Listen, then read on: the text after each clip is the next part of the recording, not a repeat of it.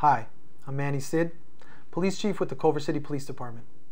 I wanted to take a few moments to update our community on some of the work our police department has been doing over the last few months.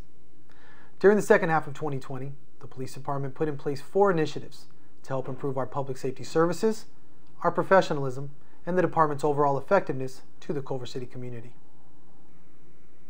The first of these initiatives was reimagining our patrol deployment and policing approach. Over the last few months, this initiative has encompassed our Park Bike Walk Talk patrol deployment, as well as our refocused Policing Directive, which has seen the police department refocus patrol efforts away from low level traffic enforcement. The second initiative has been to improve our overall data collection, reporting, and transparency measures. This initiative has been highlighted by the early implementation of the Racial Identity Profiling Act, also known as RIPA, data collection, monitoring, and public reporting. The third initiative is to increase mental health resources and services to all community members. The police department continues to provide mental health services and outreach with our MET team, which pairs an LA County Department of Mental Health clinician with a specially trained police officer to respond to calls for service possibly involving mental health. In addition, the City of Culver City is currently working diligently in developing additional mobile crisis response, which will not involve an initial police response.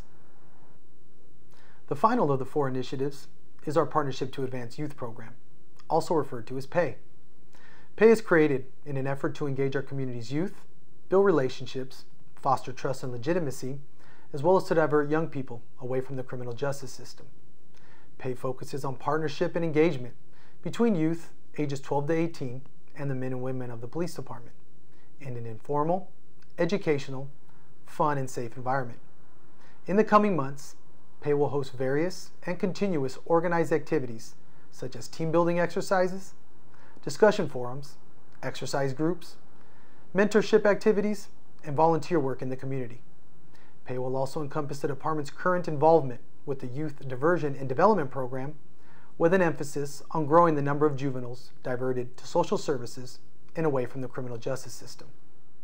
In the next few weeks, the department plans on kicking off the PAY initiative with an initial Day of Dialogue event, where the youth in our community will be able to engage in meaningful and honest dialogue with the women and men of our police department in an informal setting and in a COVID safe manner.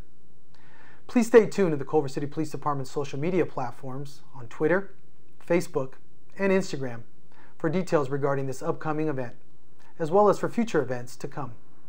Thanks for taking a few moments to check in with our police department and stay safe.